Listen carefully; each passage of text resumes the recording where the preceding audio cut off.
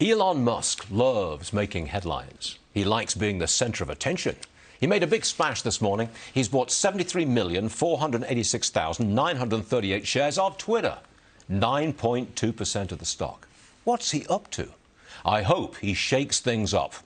Two weeks ago, Musk sharply criticized Twitter about free speech. He tweeted this, quote, Given the fact that Twitter serves as the de facto public town square, failing to adhere to free speech principles fundamentally undermines democracy. What should be done, he asks.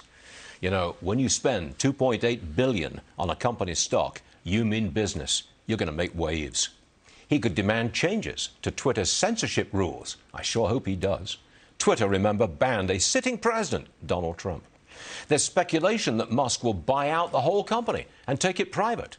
It would cost him less than $40 billion. He's worth 270 billion. Musk's car company, Tesla, dominates the electric vehicle market. One in every four luxury vehicles sold in America today is a Tesla Model 3. Talk about dominance. SpaceX, his tunneling company, Neuralink, they're all going strong. And now Twitter? Go for it, Elon. You've worked wonders with technology. Now go straighten out social media.